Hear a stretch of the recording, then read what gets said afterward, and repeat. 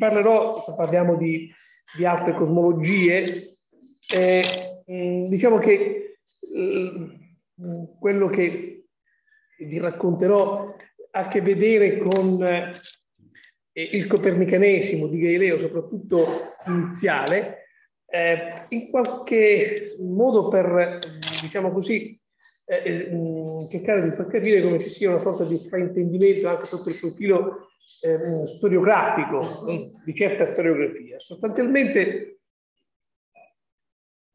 cercherò di mostrare come, per quanto ciò possa sembrare, ci sono stati alcuni studiosi che hanno affermato che Galileo, per esempio, non solo nel Siderius, ma perfino nelle cosiddette lettere sulle macchie solari, eh, non è, diciamo così, un copernicano dichiarato. E quindi io cercherò di, eh, di, di, di dimostrare quale fu l'atteggiamento effettivo di Galileo in questi due testi, però prima di, di procedere eh, in questa analisi voglio anche sottolineare che la questione copernicana è un filo rosso che attraversa tutta l'attività di ricerca di Galileo.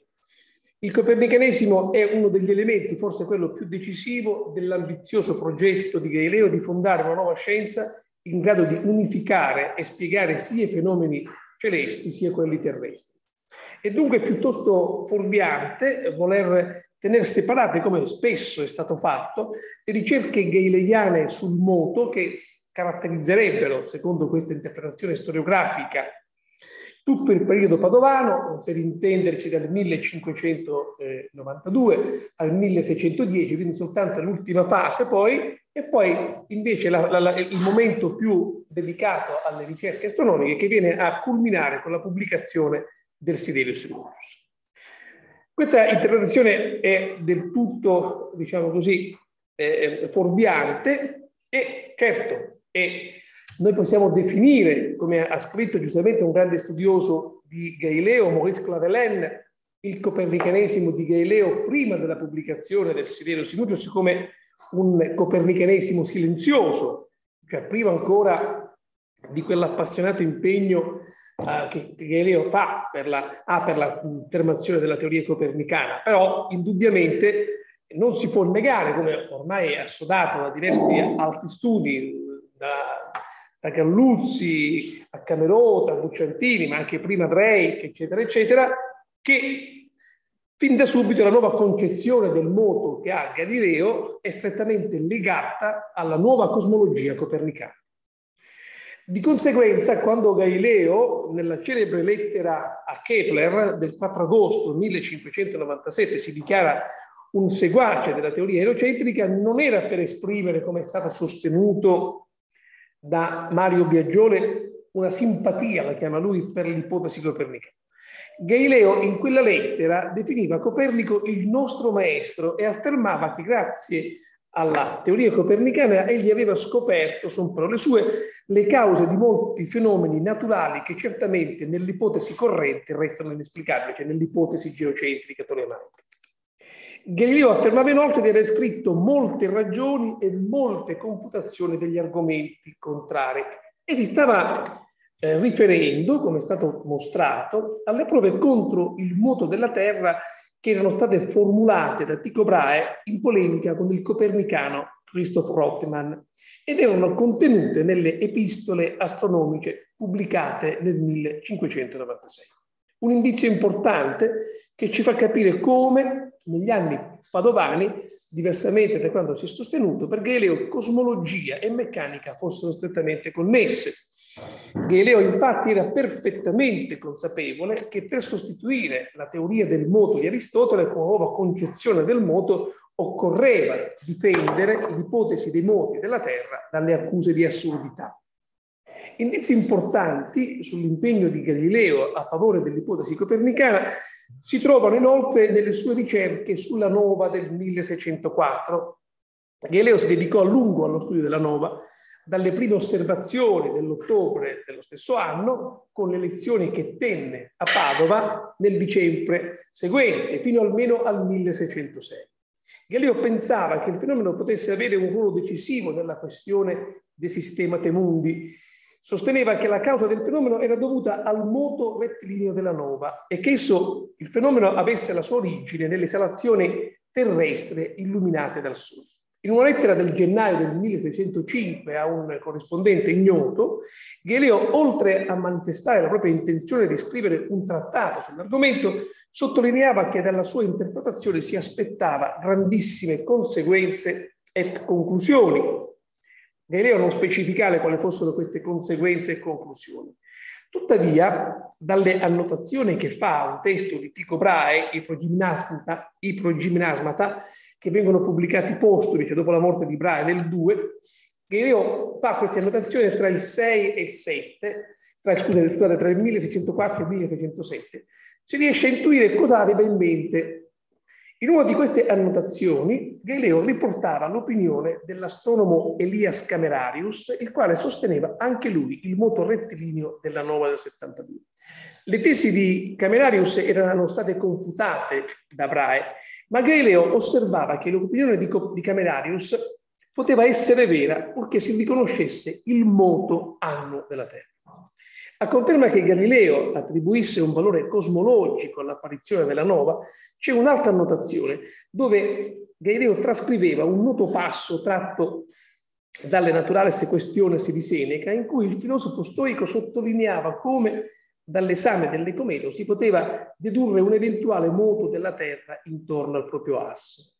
Per Galileo, dunque, l'apparizione di fenomeni estemporanei come le comete o le nove poteva offrire importanti spunti per decidere sull'eventualità del moto terrestre. E in tal senso si spiega la presenza tra le annotazioni di Galileo di due disegni chiaramente copernicani relativi alla nova del quarto. Come è noto, le ricerche di Galileo sulla nova non produssero i risultati sperati, ma è innegabile che esse rappresentano una testimonianza del suo costante impegno nella questione copernicana. Stabilito dunque che per Galileo la opinione dei pitagorici e del Copernico circa il moto e sito della Terra, parole celebre che scrive in una lettera al suo amico eh, maestro Jacopo Mazzoni il 30 maggio del 1597, era da lui considerata per assai hm, l'opinione dei pitagorici e del Copernico più probabile dell'altra di Aristotele e di Tolomeo. Capito questo, adesso posso prendere in considerazione la questione del copernicanesimo nel Siderius e nelle lettere sulle macchine solari, avendo mostrato come, sebbene molto schematicamente, ma mi auguro che sia abbastanza, eh, diciamo così, emerso chiaramente come le ricerche eh, eh, di carattere cosmologico e quelle di carattere meccanico procedessero parallelamente durante il periodo in cui invece, secondo alcuni, alcune ricostruzioni storiografiche, Galileo si sarebbe soltanto occupato di meccanica. Arriviamo a un altro punto adesso, perché è davvero difficile sostenere che nel Siderius Sinuncius Galileo non si dichiarasse esplicitamente a favore del copernicanesimo. Anche qui a sostenerlo è sempre Mario Biagioli. Speriamo che non gli fischino le orecchie. Si può infatti affermare che è esattamente il contrario, ossia che nel Siderius abbiamo la prima dichiarazione pubblica ed esplicita delle convinzioni cosmologiche di Galileo a favore del sistema copernicano. Già nella lettera dedicatoria a Cosimo II de' Medici, spiegando al Granduca il valore dei quattro satelliti dedicato, dedicati al suo casato, Galileo sottolineava che queste, mi, mi, sto citando dalla traduzione della Timpanano Cardini ovviamente, queste quattro stelle riservate al suo illustre nome, con moti tra loro diseguali effettuano i loro corsi e giri con mirabile celerità intorno alla stella di Giove. Di tutte le altre più nobile, quasi come la sua diretta progenie, nel tempo che tutte insieme ogni 12 anni compiono con unanime concordia grande rivoluzione intorno al centro del mondo, cioè intorno al Sole stesso.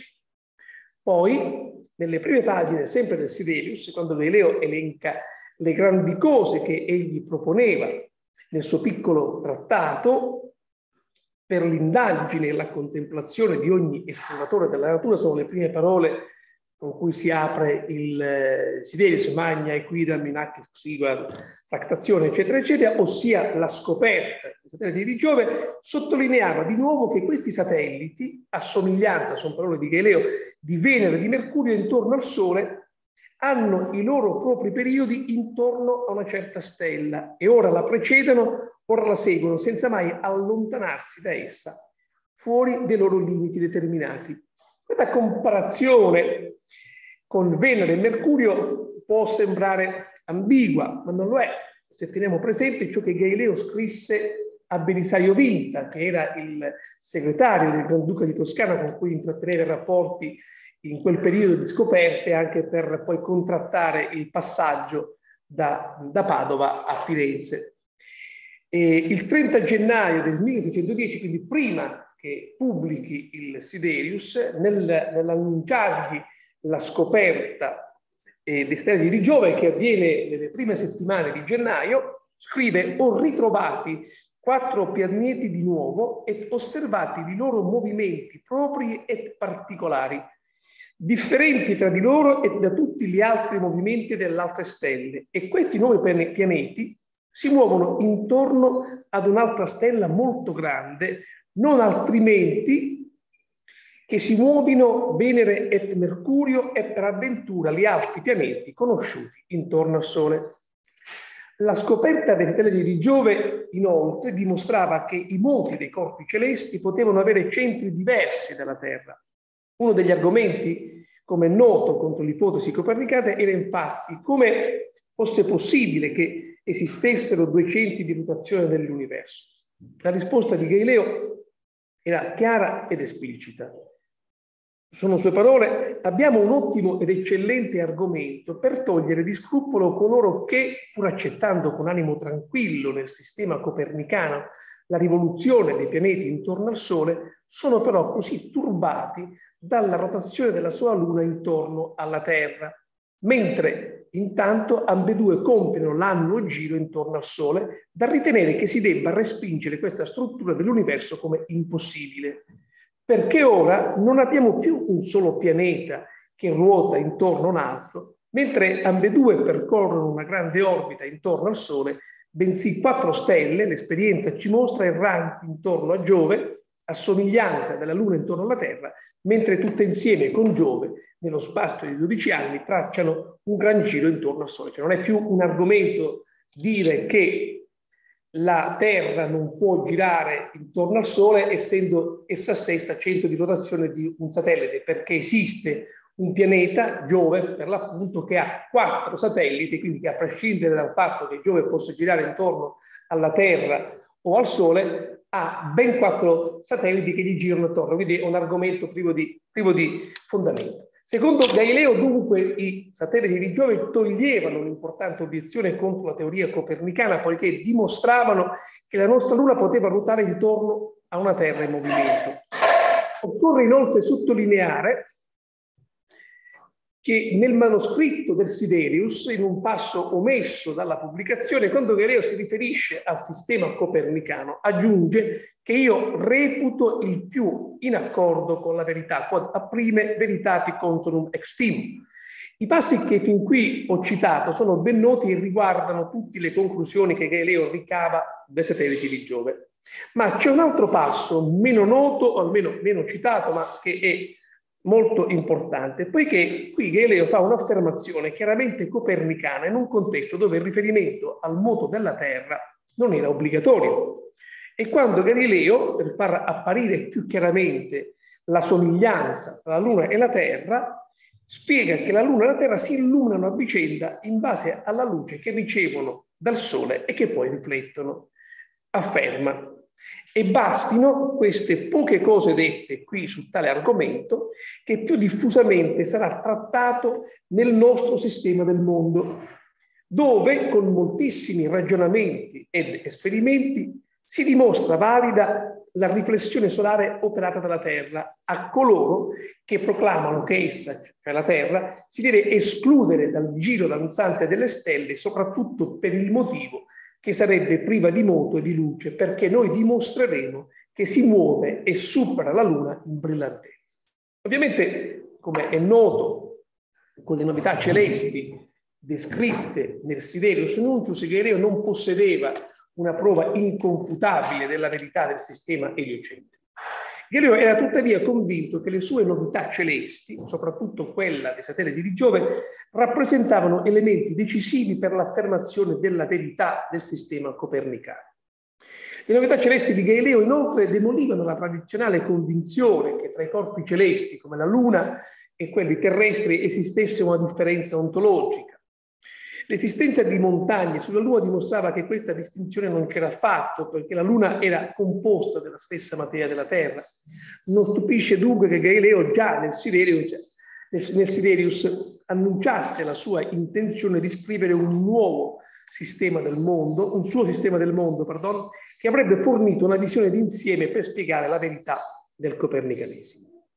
Le implicazioni copernicane del Siderius, d'altronde, furono subito evidenti ai lettori dell'epoca e non solo a chi aveva le stesse convinzioni copernicane di Galileo, come nel caso di Kepler o del suo discepolo Benedetto Castelli. Abbiamo infatti la preziosa testimonianza di un personaggio fino a poco tempo fa dimenticato dalla storiografia galileiana, ma che all'epoca non era affatto sconosciuto. E l'alto prelato Bonifacio Vannozzi da Pistoia, e protonotario apostolico e futuro segretario di Paolo V. Ecco cosa scriveva Vannozzi da Firenze a un suo concittadino, al magistrato e letterato, letterato Girolamo Baldinotti. E, e, mh, Vannozzi aveva assistito a quelle diciamo così, dimostrazioni che Galileo faceva per i cortigiani, per i nobili eh, fiorentini quando, quando, quando, ritorna diciamo così, in patria a Firenze e ovviamente ci fa capire che a maggior ragione non solo cercasse di mostrare ciò che si vedeva col telescopio, ma faceva campagna copernicana. Ecco cosa scriveva e questo Vannozzi, Bonifacio Vannozzi, un personaggio singolare, al suo amico e magistrato Baldinotti. Dice, io nel fatto di Galileo sono con vostra signoria e ogni buon teologo si riderà di chi dica davvero che la terra si muove e che il sole stia fermo. Sono cose dette altre volte per via di supposizione. Qui le parole sono importanti, cioè fa capire che eh, si, si, si, si allinea a una interpretazione ipoteticistica del De Revoluzionibus secondo la nota lettera di Osiander che viene premessa ovviamente al, all'opera di Copernico, non di verità. Che la Luna sia terrea, con valli e colline, è tanto dire che vi sono degli armenti che vi pascono e dei bifolchi che la coltivano. Stiancene con la Chiesa, nemica delle novità da sfuggirsi, secondo l'ammaestramento di San Paolo. Sono pensieri da belli ingegni, ma pericolosi e io voglio essere anzi teosofo che filosofo, come mi pare che anche faccia vostra signoria, in buona compagnia. Le, le posizioni di, di Vannozzi ovviamente non sono isolate, come dimostra il caso ben più noto dell'aristotelico Ludovico delle Colombe, che tra il 1610 e gli inizi del 1911 scrisse un'opera significativamente intitolata Contro il moto della Terra, dove elencava numerosi passi biblici contro il, il sistema copernicano. Si potrebbe obiettare che l'opera delle colombe non fu pubblicata, ma è noto che l'opera ebbe ampia circolazione manoscritta e che lo stesso Galileo la lesse e scrisse diverse annotazioni sul, sul testo delle colombe. In ogni caso, agli inizi del 1611, Francesco Sizzi, di cui ha ha scritto delle cose molto nuove eh, anche sulla biografia di Michele Camerote, pubblicava un piccolo trattato che si chiamava Dianoia astronomica optica fisica, in cui con argomenti tratti dalle sacre scritture attaccava le scoperte astronomiche di Galileo. Sizzi si scagliava soprattutto contro l'esistenza delle stelle di Giove, citando l'autorità della Bibbia sul numero dei pianeti esistenti, ma Sizzi chiamava in causa anche il sistema copernicano, senza fare tutte le polemiche, visto che lui è negli Stati Uniti, ma chiaramente eh, Biagioli questo testo non l'ha letto perché sostiene che non si faccia mai riferimento in questo testo al sistema copernicano. Ma infatti, ecco cosa scrive. La nuova scuola di astronomi, ovviamente di cui devo parlare, che sostengono che la Terra non è immobile ma è dotata di movimento e che tutti i pianeti si muovono intorno al Sole. Insomma. se questo non è Copernico. E un altro passo, per me ancora più importante, attribuiva esplicitamente a Galileo la teoria e la tesi della mobilità della Terra. La Terra è dotata di movimento come vuole l'autore del Siderius Nuncius. Una frase che dimostra senza dubbio che Sizzi aveva colto benissimo le implicazioni copernicane del Siderius, molto di più di certi interpreti. Queste testimonianze ci fanno dunque capire non solo che Galileo era considerato un copernicano, ma che il copernicanesimo fu subito osteggiato anche con motivazioni di carattere teologico, vengono poste ad argomenti astronomici passi biblici. Queste testimonianze contenevano quindi in nuce il conflitto tra scienza e fede che pochi anni dopo avrebbe opposto Galileo alla Chiesa. Comunque, alla fine del 1610 nessuno poteva dubitare dell'adesione di Galileo al sistema copernicano.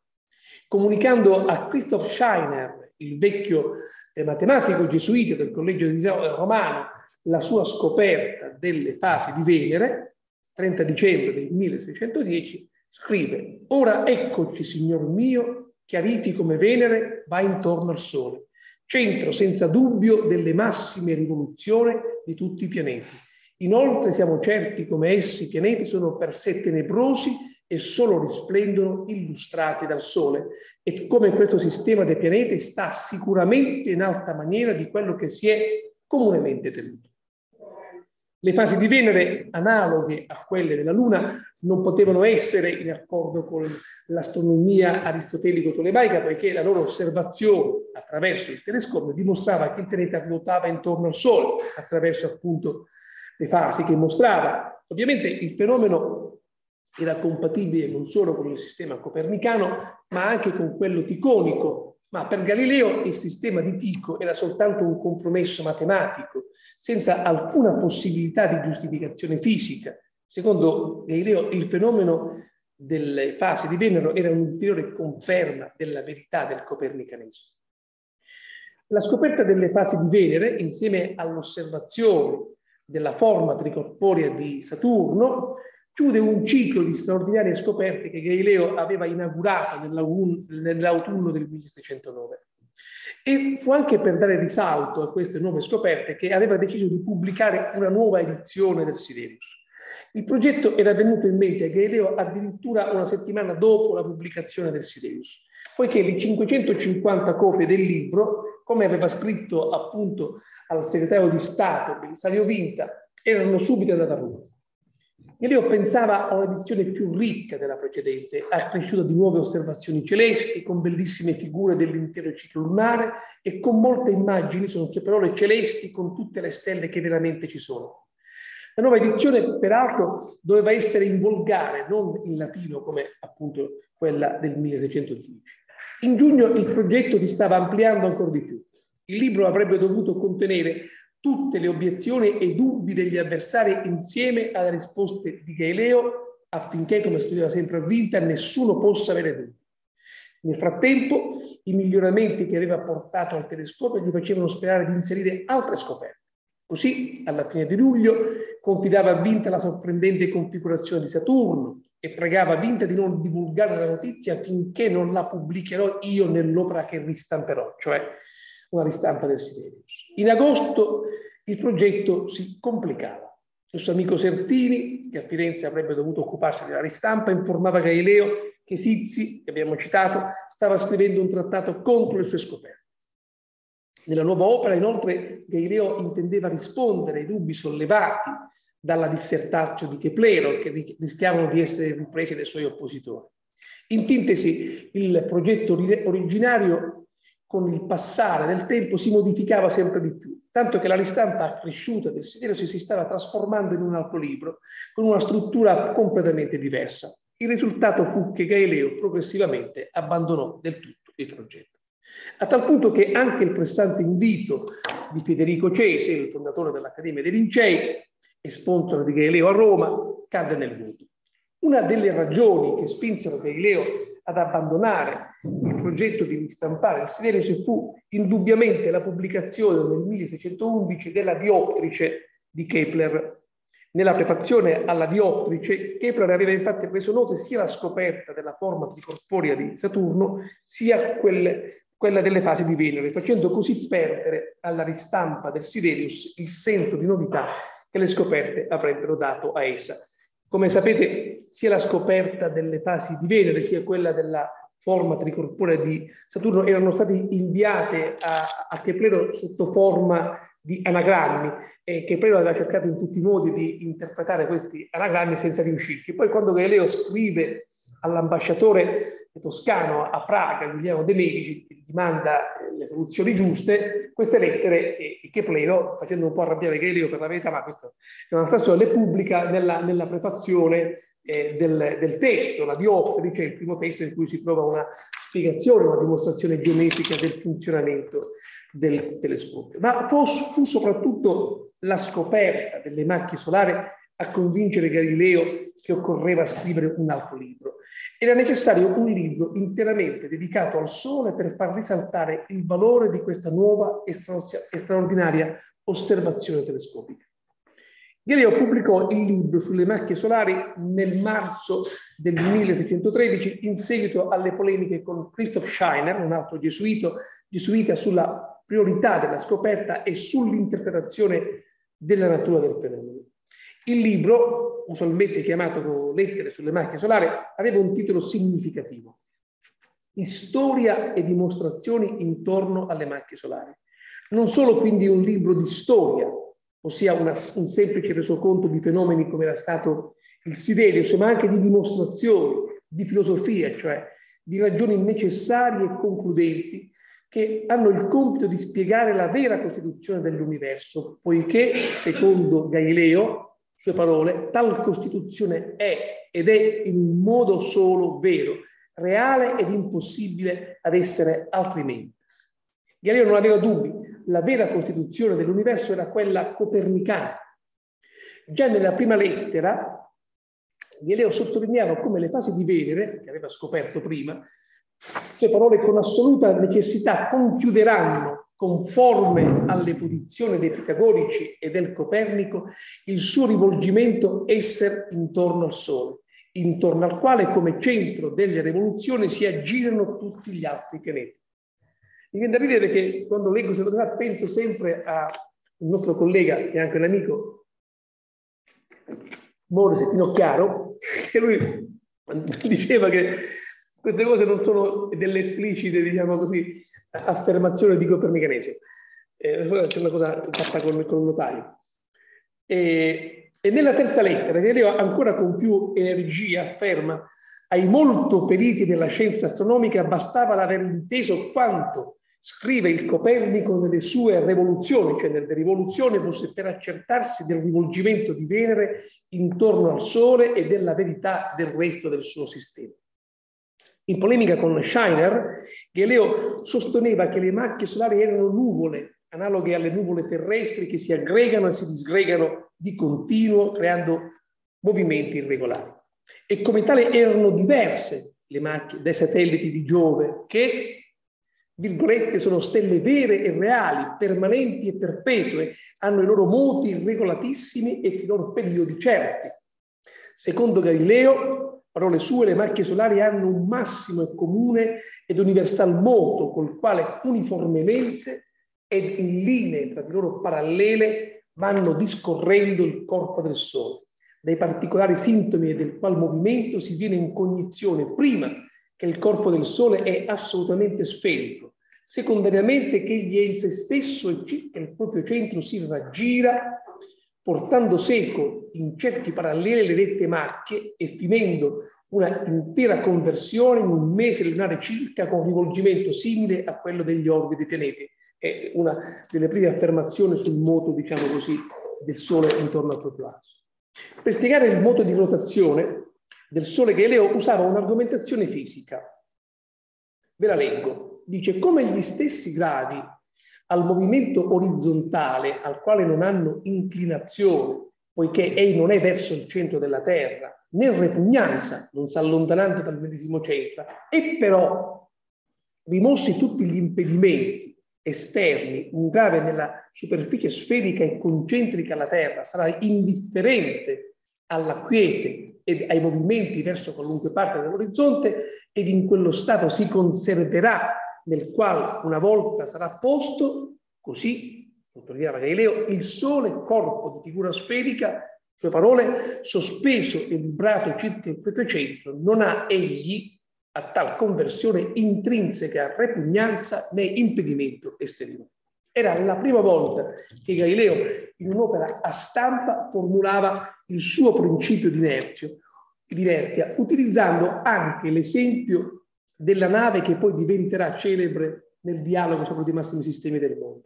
E così, questa è una frase citata dalle, dalle storie e dimostrazioni intorno alle macchie solari, e così una nave, per esempio, avendo una sola volta ricevuto qualche impito per il mar tranquillo, si muoverebbe continuamente intorno al nostro globo senza cessar mai e posta di conquiete perpetuamente quieterebbe se nel primo caso si potessero rimuovere tutti gli impedimenti estrinseci e nel secondo qualche causa motrice esterna non gli sopraggiungesse.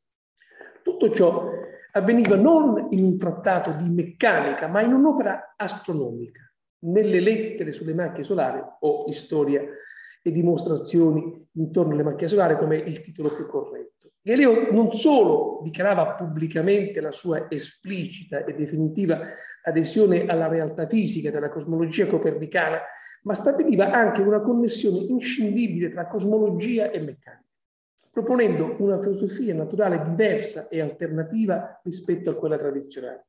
Tutti elementi, insomma, che fanno delle lettere sulle macchie solari il primo testo di filosofia galileiana, un'opera cioè in cui la grande sfida di Galileo di fondare una nuova scienza del moto sulla nuova costituzione dell'universo trovava la sua prima e matura forma di applicazione. Non sorprende quindi che alla fine del 1713, poco dopo, cioè la pubblicazione dell'istoria, il copernicanesimo diventava una questione importante nel dibattito pubblico, costringendo Galileo a difendere se stesso, il sistema copernicano, non solo dalle critiche filosofiche e astronomiche, ma anche da quelle che mettevano in discussione la plausibilità teologica del copernicanesimo. Questa però, come suol dirsi, è un'altra storia. Grazie della, della.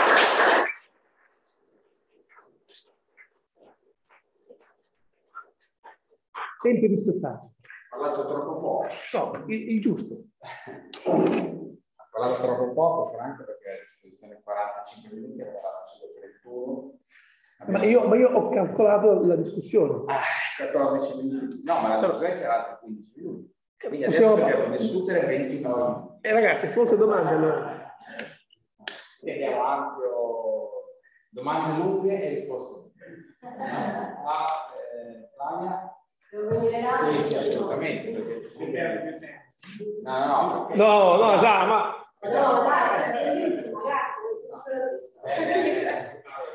C'è il microfono ambientale. Adesso devo andare a memoria per qualcosa di appunti. Vabbè, no, no, grazie, bello, poi bellissimo perché sto lavorando con i famiglia. Eh, una, una, cosa e due domande. Poi vicino perché con l'ambientale si sente poco. Anche col microfono? Questo, sì. Anche il computer, sicuramente. Sì, perché quello che funziona è quello che Dice che quello che funziona meglio è questo, però è strano perché l'ambientale dovrebbe essere... Cerchiamo di non soffrire tempo con queste cose, questi questi trucchi di No, però avete la risposta. Prima delle. Il caffè non te lo do più adesso. Ok. No, vabbè, la primissima cosa pensavo, no? Nel Siderius Nuncius anche l'esempio della, della Boemia, quando paragona la macchia della luna con la... Sì, sì, sì, cioè- quando, quando cerca di spiegare Sì. il- gli avvallamenti lunari. sembra di vedere la Terra da fuori, no? quello è più unità della fisica, no? di, di quell'esempio là, veramente.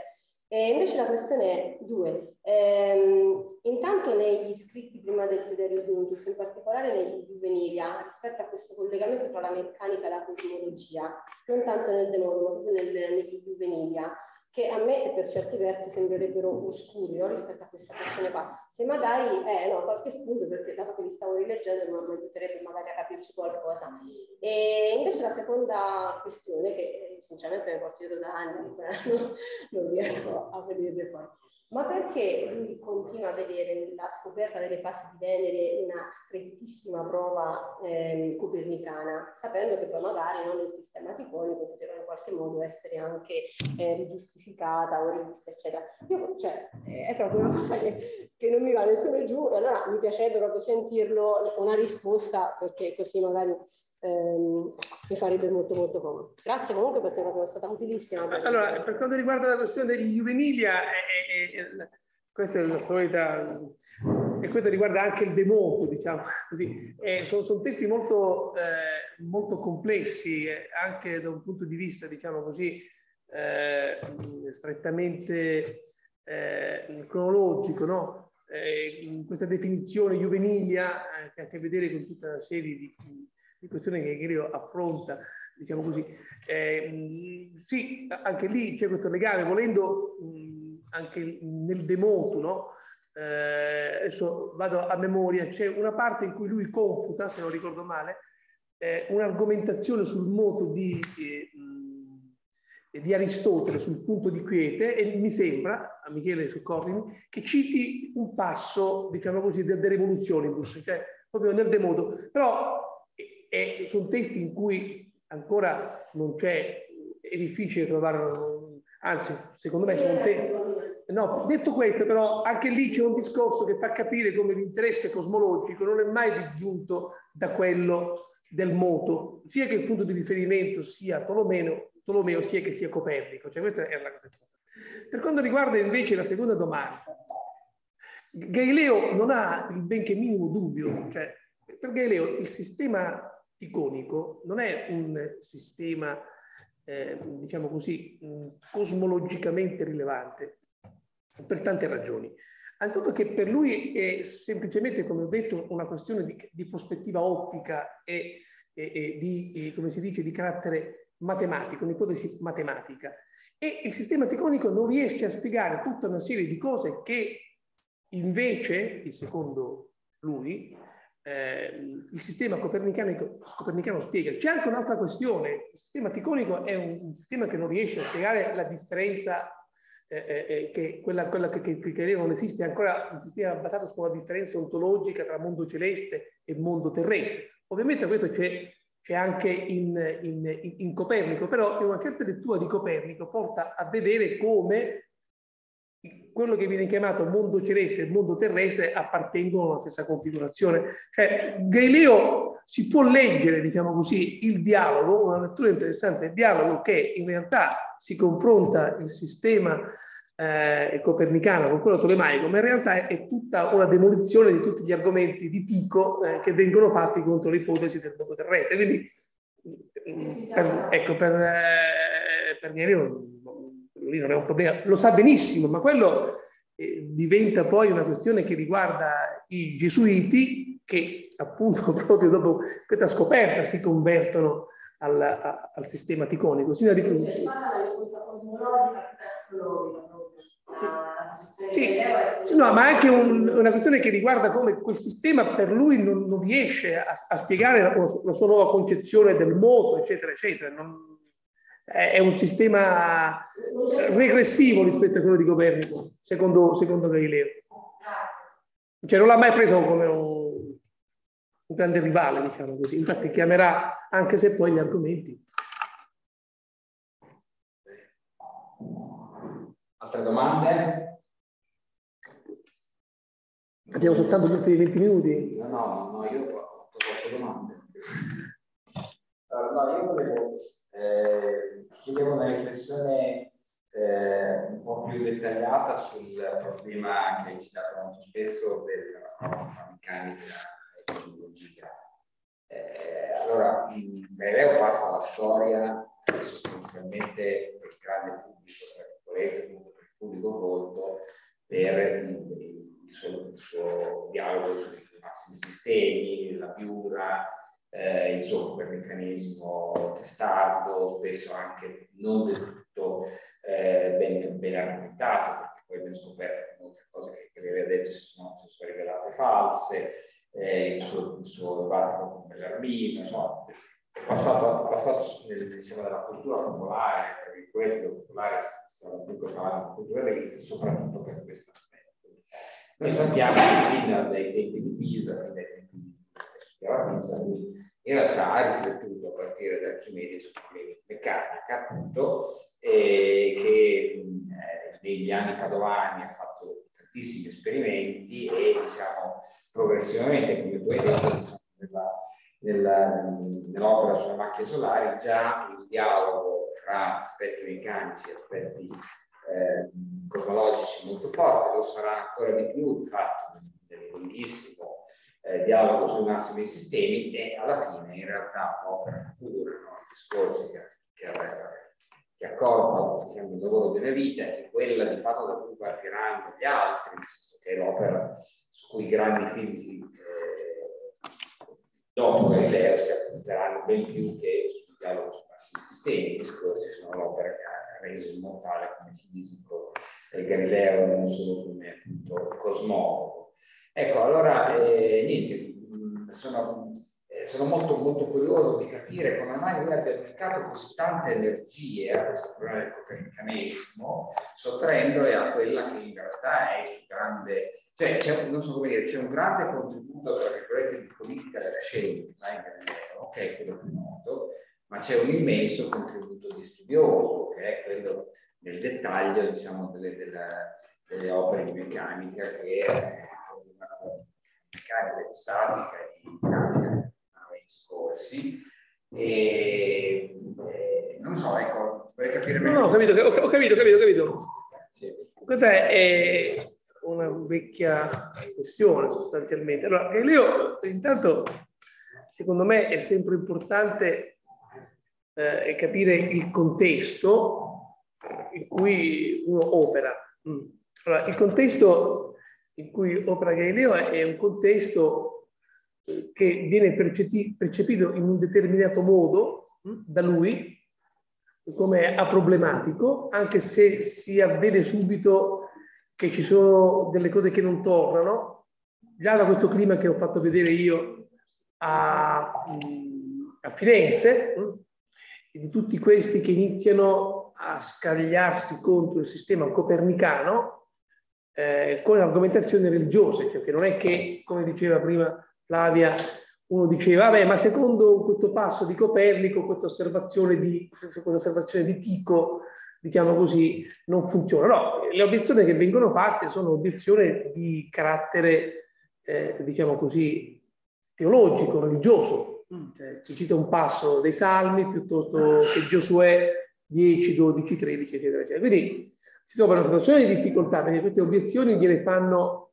a corte, cioè lo fa la Granduchessa, la Granduchessa Magna. Quindi lui ha questo tipo di problema a cui rispondere, scienziato cattolico che viene sfidato sul terreno. Quindi lui a un certo punto cerca di risolvere la questione, quello che tu chiami dibattito con, con Bellarmino, e nelle tue parole si percepisce quasi un, un modo alla Feyerabend di percepire questo dibattito, che è fuorviante perché tu puoi dire oggi che Galileo su alcune cose aveva torto, ma gli altri quali argomenti migliori avevano di lui sulla questione copernicana? Cioè, oggettivamente, adesso uno legge quel dibattito come se Bellarmino fosse un raffinatissimo epistemologo e Galileo un povero Cristo che e, e praticamente con poche osservazioni voleva, gli altri non avevano nulla, cioè era incontrovertibile che eh, il sistema basato su due mondi eh, divisi ontologicamente non reggeva alla prova dei fatti con l'osservazione dei, dei, fenomeni, che tutti si accorgono di questo fatto qua. E il, e le fasi di Venere dimostravano che sostanzialmente, che non si vedono a occhio nudo col telescopio, chiunque, ogni copernicano, prima quando eravamo in macchina pensavo a questa lettera bella di Castelli che gli scrive e gli dice allora se ha ragione Copernico, il nostro Copernico, eh, Venere dovrebbe essere cornuta, no? Cioè, si dovrebbero vedere le fasi. Allora, perché ha dedicato così tanta energia? Perché a un certo punto per lui diventa una questione decisiva.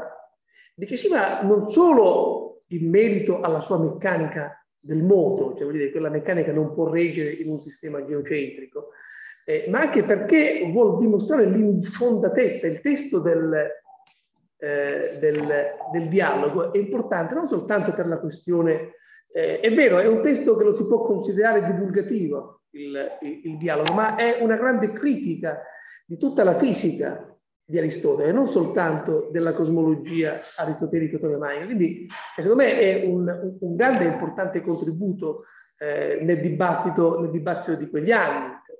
Non a caso, se voi andate a guardare la corrispondenza nei circoli di Cartesi o Mersenne tutto, cioè, quindi, poi è vero, un altro tipo di dibattito viene dei discorsi, ma quelli li pubblica dopo, anche se risalgono a, a, molto, a, a ricerche patavine, diciamo così. Però eh, il, il vero motivo è questo, cioè, no? cioè quel contributo eh, è, è, fondamentale, cioè, non soltanto per la non mica si è cercato la biura Galileo o la condanna, cioè, però è, è, cioè, l'operazione che fa è un'operazione di carattere di politica culturale, ma anche un'operazione concreta di smantellamento di quelli che sono i presupposti di una fisica che dobbiamo immaginarci un mondo in cui ancora nel 1661 eh, Newton arriva al Trinity College e lui il manuale di riferimento è un manuale scolastico dove gli insegnano la cosmologia e la fisica di Aristotele. Eh, quindi non lo so quanto fosse di, di retroguardia. Io vorrei dire altre cose, c'è qualcuno che vuole intervenire? Allora, non so.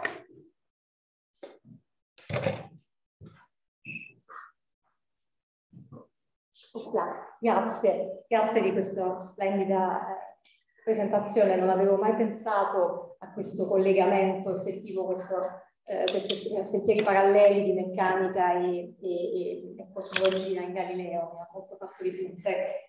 E mi veniva in mente che un collegamento, appunto, a proposito di, eh, diciamo, un collegamento tra eh, la meccanica diciamo, e la cosmologia, di fatto in Galileo diventa questo piccolo strumento che fa da mediatore tra l'oggetto osservato e l'osservatore, e quindi il telescopio, e che diventa il bersaglio di attacco di eh, praticamente degli oppositori, perché questo oggetto è un artificio, qualcosa che si frappone tra la visione. Che poi è la prima volta, se, diciamo, se, se, se è corretto, eh, se, le, diciamo, le mie limitate conoscenze eh, diciamo, della, della, della, storia eh, diciamo, eh, antica, ma è la prima volta che c'è uno strumento, viene utilizzato scientificamente uno strumento per la mediazione, cosa che invece oggi è assolutamente le sensate esperienze, nel senso le esperienze che passano per i sensi, sono ben lontane, ormai l'osservazione del cosmo è mediata da ben diciamo, ordini e ordini di strumentazione che eh, diciamo, eh, e, non solo, ma poi ci sono i modelli che consentono di interpretare quello che non è una sensata esperienza che passa attraverso i sensi, ma che sono segnali che altrimenti non vedremo senza uno strumento, quindi una complessificazione enorme però a partire dal perspicillium in pratica in un certo senso. Sì, guarda, grazie per la domanda. Allora, il, diciamo sensata esperienza, anche perché lei non è l'esperienza proprio sensibile, nel senso che eh, quello, che vede, quello, che si vede, al, col telescopio, col cannocchiale, è una cosa che va interpretata, eh, eh, non, non, è così evidente. E infatti quello che dici tu è così vero che la prima campagna, diciamo così, che Galileo deve combattere eh, non è tanto quella eh, che quella lì viene di conseguenza, di dimostrare la veridicità delle sue scoperte, ma di dimostrare che lo strumento sia qualcosa di attendibile, cioè che non sia, ma grandi astronomi dell'epoca come Giovanni Antonio Magia all'inizio pensano che lo strumento eh, sia una forma di aberrazione, di allucinazione ottica, cioè perché non sono abituati, perché lui aveva osservato con eh, delle lenti colorate, no? Le lenti colorate, le, le, le eclissi per non danneggiarsi gli occhi e siccome vedeva dei barbagli diceva che Galileo quando lui va eh, a, a, Bologna il 24 e il 25 aprile del 10 guardano, vedono le stesse cose e quelle lucine che per, lucine che per Galileo sono i satelliti, per loro sono dei riflessi della luce sul, sul, sul vetro. Cioè, quindi questa è una, una, delle prime grandi conquiste, cioè quello lì è, è l'unico, l'unico, è il primo in Europa a poter capire. E, e quando viene nella dissertazio, sto parlando di Keplero, senza aver ancora visto, perché non ha ancora un buon cannocchiale, le scoperte di Galileo, dice che Galileo sicuramente le ha viste e che il telescopio funziona perché è l'unico che oltre ad essere un astronomo è anche un grande studioso di ottica. E infatti l'anno dopo, come stato prima, pubblica la dioptrice dove con tutta una serie di, eh, di, di, di dimostrazioni, lui che aveva studiato nella lipomena a Detellione le diverse forme di lente, è in grado di capire che mettendo insieme, insieme combinate una lente concava e una lente biconvessa può generare un effetto di magnificazione e non di distorsione visiva. Quello è, un, è come si dice, un tratto, ma su questo abbiamo scritto un libro davvero molto bello, che l'ha citato, non lo dico, ah no, sto scherzando, no, è il libro. Tradotto in inglese. Ok. Allora, sto da un Eccolo qua. Non chiedo di alzarsi e cedere il posto a Gino. Cioè, perché da casa mi dicono che sentono malissimo. Un, un vicino assistiamo Mino, Mino, quello che Mino. Questo... No, perché, perché credo che si senta qua. Ah, allora, è che si questo, questo intervento. Adesso io non sono uno storico della scienza, però occupandomi di, di, filosofia della fisica, quindi Galileo è comunque per me un punto di riferimento fondamentale. E secondo me è il momento in cui si passa da una concezione dove la fisica diventa una nuova metafisica con Galileo e Kant, ma soprattutto si passa dall'idea che mentre prima si era concentrata su una realtà dell'oggetto, eh, da Galileo in poi c'è l'idea appunto di una realtà de, de, di ciò che possiamo prevedere, quindi delle proprietà quindi un realismo delle proprietà. Galileo è antelitteram, secondo adesso un'interpretazione non storica, una forzatura nostra epistemologica, il primo sostenitore del realismo delle proprietà. Però veniamo al punto che mi è piaciuto, cioè il fatto che cioè, Galileo è vero che recepisce il copernicanesimo, dicevo Galileo ha propagandato il copernicanesimo, ma il punto fondamentale è che nel Sidero... Questo, questo lo, eh, dice, lo, dice, lui, io non, non sostengo, e, vabbè, e, e, quello era andare in fondo, in fondo, contro le autorità della Chiesa, due passi di Giosuè, però il punto eh, fondamentale è che nel Sidero lui scopre tutta una serie di evidenze che mette in discussione la distinzione tra la sostanza cristallina eterea, incorruttibile, ci sono le macchie eh, solari, le, ci sono i crateri lunari, i pianeti di Giove, gli anelli di Saturno, c'è tutta una serie di evidenze che e, e questo porta veramente uno svolto fondamentale della fisica, che è l'ideale che poi caratterizza tutto lo sviluppo della fisica, che è lo sforzo di unificazione che poi avverrà con Max 200 anni dopo. Newton certamente lo porta a compimento formulando la famosa legge di, di gravitazione, però questo è già intuito da Galileo. Quindi lui il vero contributo, per cui la battaglia su due fronti, uno contro le, le scritture, l'altro contro Aristotele, che non sono proprio la stessa cosa, c'erano, adesso forse tu conosci il quadro storicamente, però da un lato c'erano i filosofi aristotelici, quindi si trattava di mettere in discussione quella fisica delle scienze, la teoria dei moti naturali, i corpi pesanti che cadono, quelli leggeri che vanno in su, quelli che devi, devi spingere se no non si muovono, e, e, e, e tutto i corpi celesti che invece si muovono in modo circolare. Quindi tutto, tutto quell'elemento lì entra in discussione che dice no, eh, non dobbiamo più tentare le scienze, ma limitiamoci ai fenomeni e i corpi hanno tutti la stessa natura.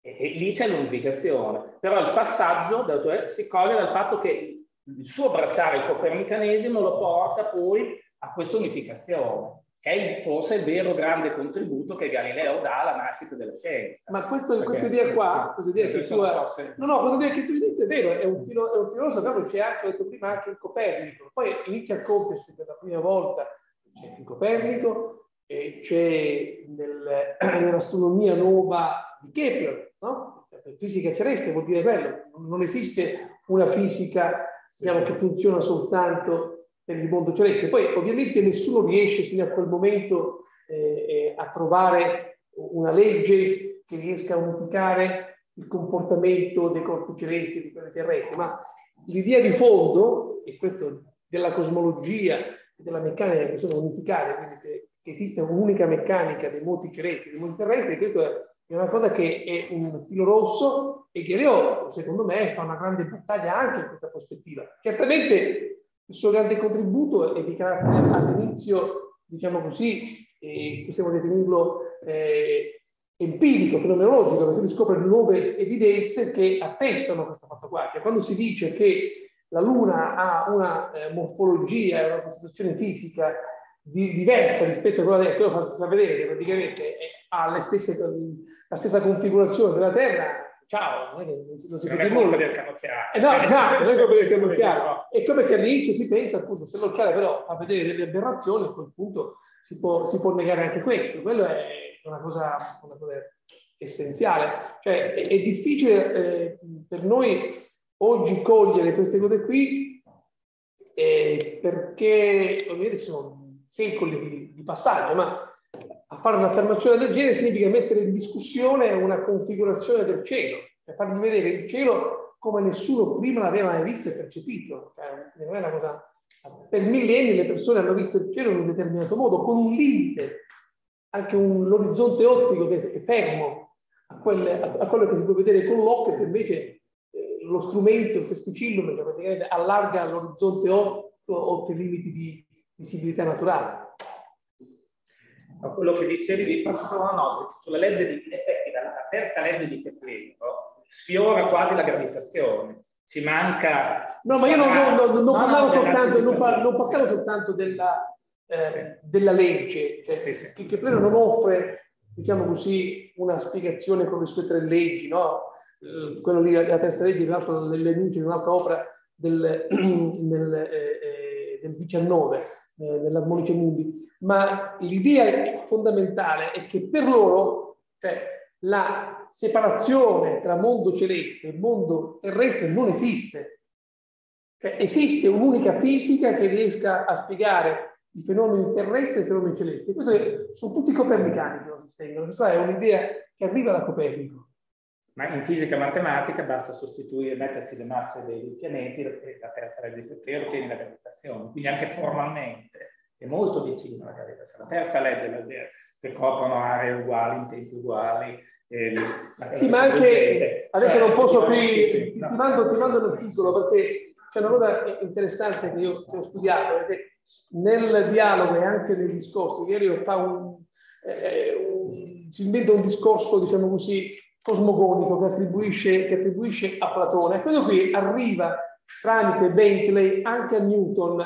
Cioè, è l'esempio che fa Newton sul, sul, sul moto de, della Luna, no? eh, sulla legge di radiazione universale, è ripreso da, da questa idea qua, che si immagina la Luna e vede come dei gradi che possono cadere sulla Terra. Vedo, per dire un'altra grandissima intuizione su questa idea che ha Galileo, di come si possono confrontare e raffigurare i fenomeni celesti con quelli terrestri.